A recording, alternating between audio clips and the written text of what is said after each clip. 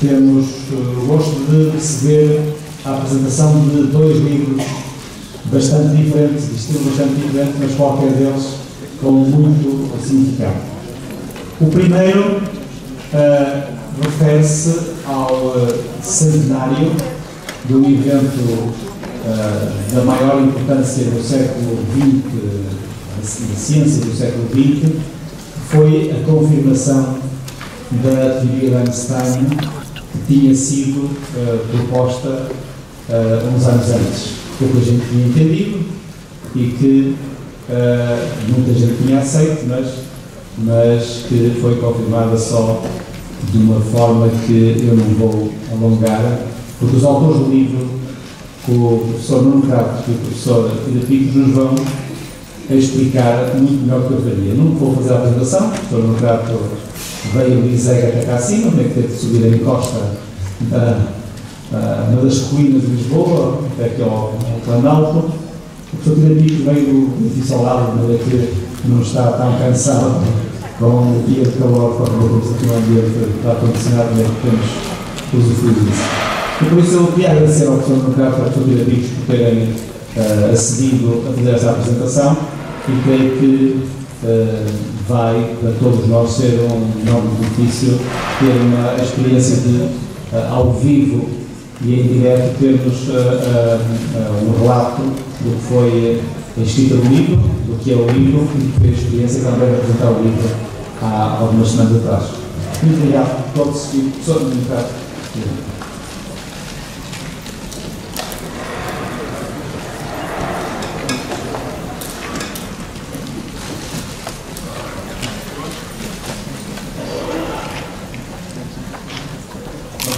Está funcionando, está funcionando, estão a ouvir bem? Muito bem. Ou preciso falar com a voz do professor? Muito bem. Muito boa tarde a todos. Muito obrigado pela vossa presença. Muito obrigado, em especial, ao professor José Ferreira Gomes por nos ter convidado para esta sessão fantástica de professores de Física, Química e de outras áreas relacionadas para apresentar o nosso livro. A primeira coisa que eu gostava de fazer era agradecer ao professor Ferreira Gomes de uma maneira mais simbólica que oferecer um livro. Por cortesia do Dr. Raul Moreira, que ali está, que é um dos responsáveis por este livro, porque é o diretor de filatelia do CTT, que uh, foram absolutamente incansáveis super profissionais, super dedicados em todo o trabalho deste livro. Este livro começou, da nossa parte, com uma ideia em 2016, que foi uma ideia que foi imediatamente acolhida pelas edições do CTT. Depois teve um trabalho de pesquisa bibliográfica, de pesquisa de iconográfica, em que o meu colega Luís Terapicos se excedeu, como sempre, enquanto eu ia pensando descansadamente no problema, e depois teve um trabalho de redação que partilhámos os dois e discussão.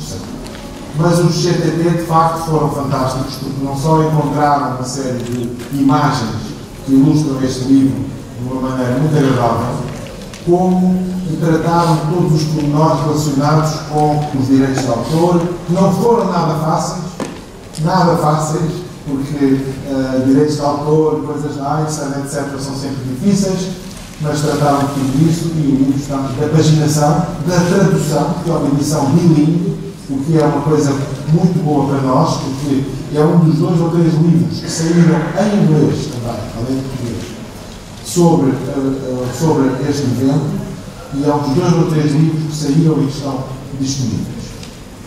O primeiro foi uh, No Shadow of a Doubt, do Canfield, o segundo foi nosso, e o terceiro só saiu depois. Vocês não conseguiram aquela proeza que os CPT conseguiram, que foi estar ali a horas e apresentar o livro no dia do eclipse o centenário do Muito bem. Este livro, como vê, fala do eclipse de Einstein, é uma maneira de colocar o problema, mas fala, traça uma história uh, que nós achamos muito interessante do que foi a saga para comprovar a teoria da relatividade, uma saga que desembocou finalmente em 29 de maio de 2019, na observação do eclipse em Sobral, no Brasil, Ceará, e na Ilha do Cristo, na altura sob a administração portuguesa, na vossa subida, nós, nós já vamos mostrar.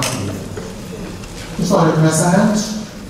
Se vamos começar a história pela história, pela história, vai demorar muito tempo, mas digamos a história recente começa antes porque Einstein, ainda antes de 2010, percebem os papers fundamentais dele que a luz tem uh, a luz tem características corpusculares, percebe a equivalência entre massa e energia, de onde tira a conclusão que a luz deverá ser afetada por um campo gravítico e começa a pensar como é que isso pode ser verificado. Mais tarde, portanto, Einstein, como sabem, cria a teoria da relatividade restrita em 1905. Uh, em 1905, uh, tem um trabalho imenso porque quer uh, generalizar a teoria, é um trabalho estimulante, uh, é obrigado a estudar matemática muito mais do que aquilo que ele já sabia que não era pouco e finalmente começa a perceber que tem que generalizar a sua teoria de determinada maneira. Ele tem a ideia de observar a reflexão da luz ao passar por uma grande massa e ao passar por uma grande massa ele pensa, vamos fazer isso numa luz numa estrela que passa ao pé do Sol. E eles percebem imediatamente uma luz da estrela que passa ao pé do Sol não pode ser observada normalmente, passa, passa visualmente ao pé do Sol. Não pode ser, uh, não pode ser observada normalmente, porque o Sol ofusca uh, a nossa visibilidade. Portanto, vamos ter que esperar por um eclipse. E então vamos ter que um eclipse total do Sol para, nessa altura, olhar para uma estrela, ou várias estrelas, e ver se a luz proveniente dessas estrelas, ao passar perto do Sol, portanto, na borda do Sol tapado pela Lua, se a, lua, se a luz tem alguma reflexão. Esta ideia começa a gerar interesse nos astrónomos e é fundamental esta ideia para o movimento que se passa na astronomia eh, do princípio do século. A astronomia até o princípio do século XX era essencialmente uma astronomia de posição, em que, tal como antigamente se fazia, se olhava para as estrelas e se tentava marcar a posição de maneira cada vez mais rigorosa, olhava-se para os planetas, tentava-se marcar a posição dos planetas de maneira cada vez mais rigorosa, portanto era uma astronomia de posição. E a astronomia começa a ter um desafio físico, astrofísico, e a astronomia transforma-se em algo muito mais que a astronomia de posição para ser astrofísica. Percebe-se que há uma teoria física, que há fatores, fatores físicos que podem ser observados astronomicamente. Bem, agora, a história começa a complicar-se muito a partir daqui, porque vai-se procurar um eclipse, mas entretanto Einstein faz as contas e diz: bem, a deflexão da luz ao passar perto do Sol deve ser esta. E o esta é, e o meu amigo Luís está mais ou menos a controlar as imagens, uh, esta é 0,75 mais ou menos, ainda antes disso não ficou. Portanto, 0,75 segundos de ar. É uma coisa muito pequena. E os astrónomos começam a movimentar-se no sentido de fazer a observação do eclipse. Felizmente não fazem. Felizmente não fazem. Há muitos problemas, há a guerra, 14-18, há chuva, há um eclipse no, no, Brasil que é observado em passa 4, salvo erro, e que falha, está a chover, e não conseguem fazer essa observação. Felizmente ligou porquê? Portanto, Einstein tem aquilo que chama a ideia mais feliz da sua vida, e a ideia mais feliz da sua vida é mais ou menos esta: o pensamento mais feliz da minha vida. Ele pensa: o que é que acontecia no elevador se eu estivesse dentro do elevador e o elevador de repente caísse. Se isso acontecesse, eu não conseguia determinar se estava sobre a Terra, se estava no espaço, onde quer que fosse, porque para todos os efeitos, para mim, deixava de haver gravidade. Um livro que eu, que eu largasse cairia à mesma velocidade, dizemos nós, sabemos que é o elevador a cair, mas para um observador dentro do elevador não se passa nada. Passa-se como se não houvesse gravidade. E ele diz, bem, então, há uma equivalência observacional entre o campo gravítico e o contrário, é se em vez de cair subisse, o movimento uniformemente acelerado. E a partir dessa ideia, ele pensa que mesmo se deve passar uma luz. E tem esta ideia de uma luz com passar no elevador que está a subir e no elevador uniformemente acelerado. Então, no elevador uniformemente acelerado, a luz curva-se, e se luz se curva com movimento uniformemente acelerado, a partir desta ideia de equivalência entre o movimento uniformemente acelerado e a gravitação, ele dá o salto e diz, bem, então a luz a passar perto de uma estrela também deve formar-se. Ok, também deve refletir-se. E faz as contas. Mas agora faz as contas com a sua teoria da relatividade geral, que é muito mais, muito mais vasta que a teoria da relatividade restrita, introduz este princípio e ele pensa a gravidade como uma deformação do espaço, uma deformação do espaço-tempo. Trata a gravidade como uma deformação do espaço. Nós todos conhecemos aquelas imagens de um, tapete elástico com uma massa grande no centro, uma bola grande no centro, uma bola que é tirada ao pé e que a bola, por essa curvatura do espaço, neste caso bidimensional, por essa curvatura do espaço, a bola se deflete ao passar junto dessa grande massa e é isso mesmo que pensa que vai acontecer ao passar perto disto. Faz as contas de acordo com a teoria da relatividade geral e chega à conclusão que não é 0,75 0,74 segundos de ar, mas é o dobro. 1,7 qualquer coisa. 1,45 segundos de ar. Agora não me lembro. Não vou. Bem, por isso é que eu disse, com sorte. Porque se ele tivesse feito aquela previsão e o eclipse tivesse dado ao contrário, os astrónomos diziam que não percebem nada disto, dado aquilo que ele depois a pensar que iria acontecer, o tipo não percebe nada disto e, portanto, não acabamos a observar mais eclipses para isso que está muito trabalho.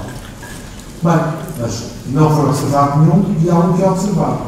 A história é muito curiosa, não estou um bocado de surpresa, a história é muito curiosa porque envolve um grupo de astrónomos ingleses liderado por um astrónomo que é o Arthur Eddington, que, eh, que é um pacifista e que consegue convencer o astrónomo real da Inglaterra a fazer uma expedição para observar o eclipse, para prever uma teoria de um cientista que vinha do país eles, com quem eles tinham acabado de ter uma guerra muito sangrenta.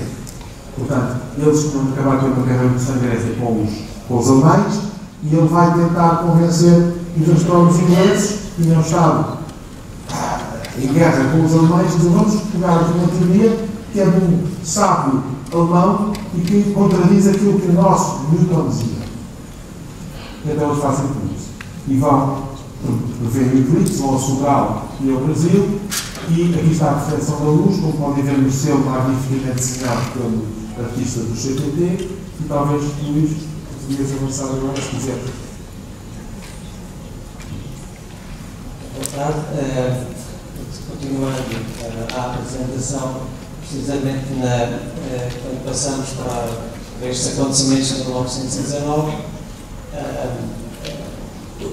que o eclipse é observado logo a seguir à guerra, porque durante a guerra, obviamente, não, não, havia condições para, para fazer, e além disso, o eclipse de 29 de maio de 1919 era particularmente apropriado para fazer este tipo de, de medições. Porquê? Porque o, uh, o eclipse ia dar-se contra um fundo de estrelas, contra uma, uma direção de uma um enxame de estrelas uh, na constelação do Touro, as Íades, e portanto era um, um campo com bastantes estrelas uh, para as quais poderia fazer esta determinação uh, da sua posição e verificar se de facto havia um desvio ou não em relação à sua posição real e que, e, e desvio era esse. Portanto, há duas expedições britânicas que vão para, como o professor Democrata já mencionou, é claro, os, os ingleses tinham uma, uma comissão que organizava as expedições aos, aos eclipses nesta altura, porque o Sol estava a ser utilizado, um, os eclipses, aliás, para, para estudar a física solar, eram uns casos momentos em que, na altura, em que nesta época era possível estudar e estudar a física solar. Claro, nós hoje temos sondas, temos uh, sondas no espaço, fazem isso continuamente, mas na altura, na época, só era possível estudar a física solar nestes em que havia um eclipse total do Sol. Uh, o que acontece é que os eclipses totais só são visíveis numa estreita faixa por onde passa a sombra do Lua. Temos, aliás, ali aquela imagem, depois tem uma, uma página da Illustrated London News, portanto, uma publicação da época, que, onde se vê embaixo a estação de observação do, do Sobral, uh, que é, devia ser semelhante, nós não temos imagens do príncipe, mas devia ser mais ou menos semelhante, nós sabemos que as tendas eram iguais e, e uh, no príncipe havia apenas um telescópio, onde havia dois, mas digamos, o, o equipamento era muito semelhante. ao que foi instalado no, no e, portanto, estou a ver que aquela, aquela faixa depois passou a sombra do mundo e, e eu, o eclipse era visível como total, fora daquela faixa observação eclipse parcial. Uh, as posições quando se deslocar exatamente para, aqueles, para aquela faixa. Uh, e, portanto, os ingleses organizaram duas expedições, uh, uma ao Brasil e outra à Ilha do Príncipe. O que acontece é que a Ilha do Príncipe, como sabe na altura, é uma colónia portuguesa e, portanto, uh, toda a logística teve de depender de contactos e do apoio, uh, nomeadamente Observatório Astronómico de Lisboa. E, inicialmente, uh, esta Comissão dos Equipes contactou uh, a Sociedade de Geografia Londres para contactar a Sociedade de Geografia de Lisboa para, para obter informações meteorológicas e mapas do país, mas depois, a partir de certa altura, mais próximo, aliás, é, é muito curioso, porque no próprio dia do armistício, o Editor uh, escreve uma carta, logo que é a notícia do armistício, o Edgar escreve uma carta para Lisboa a pedir, a pedir auxílio para organizar esta, esta exposição ao príncipe.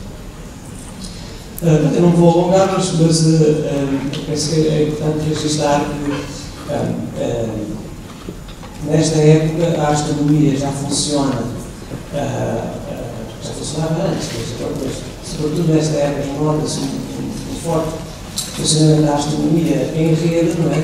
em colaboração com colegas, e a, a tal ponto que é precisamente neste ano que é criada das redes da astronomia, é a União Astronómica Internacional. A União Astronómica Internacional, que foi criada, também está a comemorar no centenário, foi criada exatamente neste ano.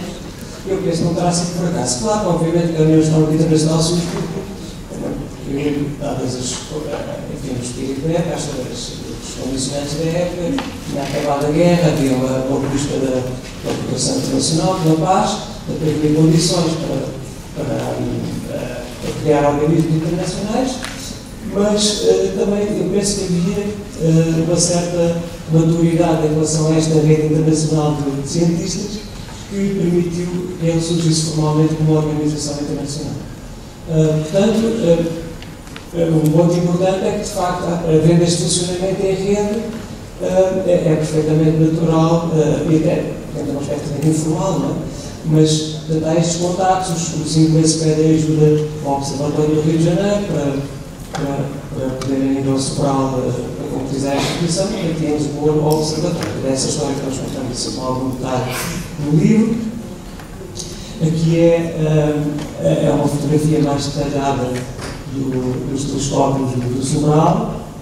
Uh, os, os telescópios estavam fixos, mas, portanto, como sabem, uh, o céu está em movimento aparente, está a girar e, portanto, o céu está à nossa volta diariamente, tem uma volta de 24 horas. E, portanto, para fazer fotografia é preciso ter o telescópio continuamente apontado para o ponto que queremos fotografar. Como o tubo não se movia, o que eles, o eles tinham era um, um espelho que se movia. O tubo estava fixo, mas o espelho ia seguindo o movimento do Sol e refletia para dentro do tubo a imagem daquele que estavam a fotografar. O Sol eclipsado e as estrelas em volta, pretendiam registrar. Essas são duas imagens da Wellington e do está. A Wellington vai com o príncipe não como um astrónomo, mas como um relojoeiro, uh, que trabalhava no Observatório de Greenwich, em Londres, e que o auxilia dentro com aspectos, uh, portanto, aqueles, aqueles mecanismos que utilizavam, aqueles espelhos que utilizavam mecanismos de relojoaria, que estavam sempre bem apontados para a ponto do céu, a seguir o movimento aparente do céu, e, uh, portanto, Edmund vai com, com um colega que era astrónomo, Aqui temos o, o Edith Damianes e Einstein, mais ou menos, um pouco mais tarde, no Positivo 1919, mas ali temos mais. Havia uma certa publicidade, o, o, entre eles, o, o Hamilton, o nosso grande divulgador da relatividade, Um, e, portanto, de mais, de mais tarde eles estão juntos no, a conversar num banco junto em Cambridge. Um, uma das cartas que está cá em Lisboa, no arquivo do Observatório, que mostra a letra bonita, que tinha o Edding também, portanto, uma letra agradável, e estas. Um, é uma das cartas que ele escreve, que ele, da correspondência que ele mantém com Lisboa, uh, neste caso a agradecer todo o apoio que tinha sido dispensado, já depois do regresso a uh, Junto com essa carta, iam, vieram, ele enviou várias produções fotográficas do, do Eclipse, não foram propriamente imagens que tivessem sido utilizadas, foram outras imagens que utilizaram para a descrição das estrelas, mas uh, algumas chapas registavam aquela grande, uma coisa relativamente rara, há vários astrónomos amadores me contaram que é muito raro ver uma protuberância um espetacular como aquela e de facto todos os relatos da época falam nesta grande protuberância, toda a gente ficou admiradíssimo ao olhar, porque esta falta de eclipse pode-se observar a olho não é preciso proteção, não é preciso um filtro, é? Uh, pode-se olhar a olho nu, a coroa, aquela atmosfera exterior do Sol, uh, não é muito brilhante, pode-se uh, em segurança observar diretamente. E toda a gente ficou a olhar para aquela protuberância impressionante que surgiu, uh, que é algo bastante raro, mas que estes observadores tiveram a, a possibilidade de. Bom, o, o, o, os resultados são, são anunciados no dia uh, 6 de novembro de 1919, numa sessão conjunta em Londres, uma sessão organizada pela Royal Society, pela Royal Astronomical Society, onde são divulgados os resultados e onde, digamos, eh, é confirmado, digamos, o, o acordo entre as, as, observações e o valor previsto pela relatividade generalizada. Peço desculpas de interromper, Luís não interrompeu, mas eu Havia três hipóteses na altura. A hipótese era que as estrelas estivessem exatamente na mesma posição que estavam sem o Sol lá, portanto, eles podiam comparar com imagens tiradas das estrelas naquela altura, tivessem exatamente na mesma posição, tivessem defletido pelo que se chamou depois a deflexão newtoniana, ou seja, o ponto 74, ou que se tivessem defletido de acordo com a teoria do Einstein, ou seja, no ponto 7 qualquer coisa, ou ponto 45. E é, é, isso que eles vão ver. Há deflexão, há deflexão de cabo ou há deflexão de cabo. E era um teste que permitia estar claramente da teoria. Uh, bom, quando os resultados são, são, são uh, divulgados, a imprensa mundial fez eco, uh, a primeira página do Times e de outros jornais, por exemplo, uma, em dezembro, uh, pouco mais tarde, há uma revista, uma revista de Berlim que põe o Einstein na capa, e o Einstein, obviamente, não ficou assim famoso de um dia, de um dia para o outro, mas, mas quase, até em pouco tempo, em pouco tempo, tornou-se ele já era conhecido da comunidade científica, mas tornou-se uma figura mundial depois do anúncio, depois do anúncio destes resultados que ficou conhecido mundialmente. Em Portugal também há alguns ecos, né, há algumas notícias. Ah, Agora vou interromper o assunto dele.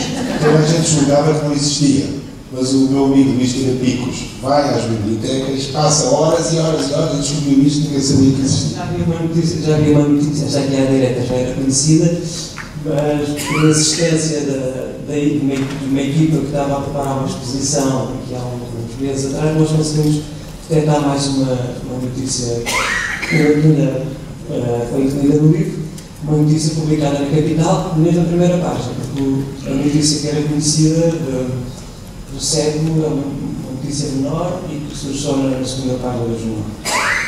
Um, um texto muito, muito interessante, feito a partir de um, um, trabalho de divulgação publicado em Espanha e que se chama uh, A Quarta Dimensão. É aquela parte, aquela professora que diz vida científica.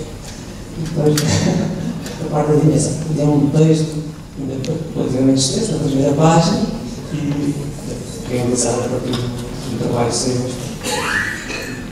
Agora, nós já não temos muito tempo, mas eu penso que ainda temos um breves minutos para o professor Nuno Crato dizer o que é que vai fazer, contar-nos o que é que vai fazer a São Tomé aqui há, umas semanas atrás. Uh, quando se comemorou mesmo, no próprio dia da efeméride, houve umas comemorações. Eu posso tentar contar rapidamente. O, aqui mais uma vez a minha vénia para o CTT, porque os CTT fizeram todo o possível para que houvesse um lançamento de um selo conjunto Brasil, Londres, São Tomé e Lisboa. Mas infelizmente em Londres o senhor formou-se portanto a mensagem chegou ao seu sucessor passado, passado o tempo do eclipse. Os brasileiros estão, como sabem, têm passado os momentos conturbados da sua história com muitos presidentes que vão e vêm e portanto não conseguimos. Mas conseguimos com São Tomé. E em São Tomé foi lançado o seu conjunto com uma coisa, uma coisa que deve ser rara, Dr. Romuleiro. Pela primeira vez, estão com dois presidentes. Estavam os dois presidentes, agora talvez nós possamos ver, aqui estão a ver aqui o aeroporto do Príncipe, aqui uma recepção do Príncipe com o teatro, com o eclipse, o sol a tapar a lua e tal. Dois presidentes, já vão ver os dois presidentes. Aqui, umas ações de divulgação que houve em escolas na altura, nós fomos às escolas explicar aos jovens do Príncipe como é que, o que é que era o eclipse, porque é que é que estava tanta gente estrangeira a chegar ao Príncipe. O Príncipe não ia com um salvo de 7 mil habitantes, portanto, chegou, sei lá, um décimo dos habitantes. Este era estrangeiro, estou a exagerar, mas os 500 habitantes daquela altura eram as pessoas que iam comemorar houve uma conferência internacional. Esteve lá a secretária-geral da União Astronómica Mundial, que atualmente é portuguesa, que é a professora Teresa Lá, do Porto. Teve a presidente, que é, salvo erro, holandesa, que esteve lá. E, portanto, isto, e depois houve o lançamento do selo. Isto é o príncipe, uma coisa fantástica. Facto, isto é, aquilo é a quarta dimensão, isto é a, quarta, a décima quarta maravilha do mundo. Aqui está a Rosa Junquim, foi um Reddington onde ficou e onde uh, a maior parte das comemorações foram, foram feitas. Aqui está uma placa que lá se tinha sido posta 10 anos atrás, mas que está no sítio errado, porque desta vez houve mais uma coisa que se descobriu, é que não foi aqui que observou, só observou o eclipse, mas foi um bocadinho ao lado, mas está aqui a placa de qualquer maneira, uma, uma placa que lá está na roça, foi aqui, um bocadinho ao lado daquilo, e aqui temos o lançamento do selo com dois presidentes, o presidente de São Tomé à direita, estão a ver aqui, São Tomé e Príncipe, e o presidente de, de Portugal à esquerda, e ainda há um terceiro presidente, que é o presidente da ilha, da ilha que, que é o presidente Cassandra, que está aí alguns, mas que não, eu não estou aqui a ver, e que esteve. E acabou. Luís. Cumprimos o tempo. Muito obrigado.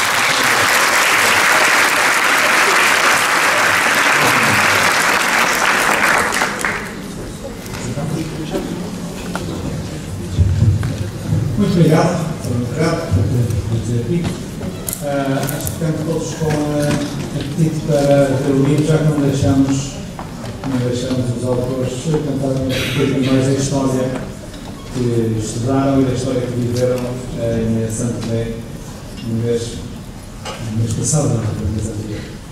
Uh, creio que estariam disponíveis para uma duas perguntas. Vamos aqui, temos feito perguntas como detective, foram perguntas diretas bem barradas no microfone.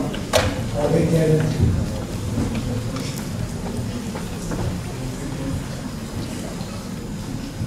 Alguém quer aproveitar a oportunidade para pôr uma pergunta? Eu queria fazer um esclarecimento há pouco. Estava a era a primeira vez. Não foi a primeira vez que tivemos dois presidentes. Já aconteceu várias vezes.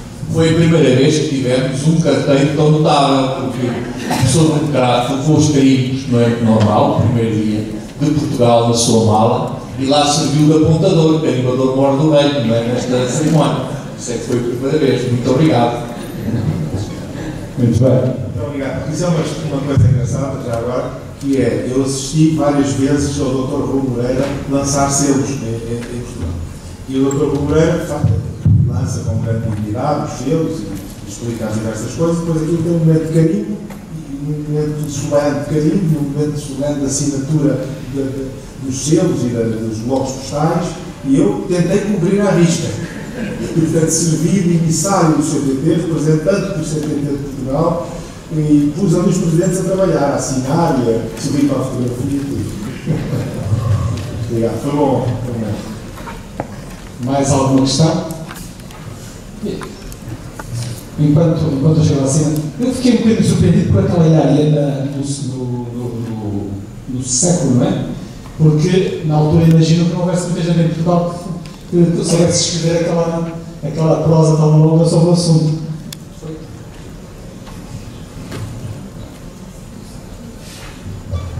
Sim, é, o texto é feito a partir de um artigo de divulgação publicado em Espanha. É, é, é a primeira página da capital.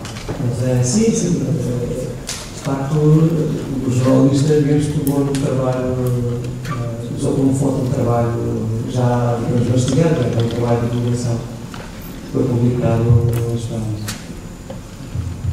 Boa tarde. Uh, queria só saber se realmente se tem informação sobre o eclipse de, não quero dizer a de 1919 uh, em São Tomé, que é sabido ser um país numa zona de muita umidade, muita chuva, chuva diária, se realmente não houve problemas uh, na visualização, uma vez que no Brasil, pouco tempo antes, a coisa não correu bem. Sim, Tina, não, sei se repararam, mas naquelas imagens que nós mostrávamos, mostrávamos da ilha do, Príncipe, o céu parece ser bem coberto, não sei se repararam. o céu parece ser bem coberto. E, e já em algumas apresentações que nós fizemos, eu, aqui, esta apresentação foi um bocadinho mais curta, mas eu geralmente chamo a atenção, estão a ver, porque sim, não, de facto chove muito na ilha e, e, e o Edita e o Cottingham de facto tiveram dificuldades, porque estava a chover manhã. Portanto, o eclipse foi logo depois do almoço, não estou em erro. Uh, foi ao início da tarde. Mas de manhã estava a chover, eles ficaram felizes, pensavam que não ia conseguir oportunidades, mas a verdade é que um pouco antes do uh, o céu abriu e conseguiram fazer várias imagens. Há mais imagens do, do Sobral. O Sobral é uma zona, uh, é uma zona árida, árida, porque é a zona do Brasil que chove muito tempo. Uh, portanto, aquele meteorológico até era grande. Mas, e, na verdade, conseguiram, além de tinham, tinham dois telescópios, a dois há mais imagens, uh, digamos, aproveitáveis e foram aproveitadas do, do Sobral do que preto. Mas os, o, o, artigo onde são publicados os resultados tem também alguns dados de, de imagens feitas do Príncipe. salvo erro, há uma frase que o Edington manda também, o Edington respondeu sobre o também, que diz, frio declaram, salvo, uma coisa assim que é, estava muito voando, mas de repente eles lá conseguiram uma, uma aberta e fizeram.